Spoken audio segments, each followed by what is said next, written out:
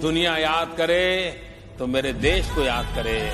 मेरे देश के भविष्य को देखें, मेरे देश के लिए दुनिया गर्व से कहें,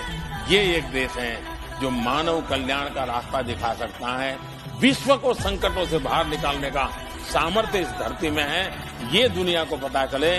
मोदी की छवि चमकाने में मुझे इंटरेस्ट नहीं है, हिंदुस्तान की छवि चमकाने के लिए ज़िंदगी खपाने में मुझे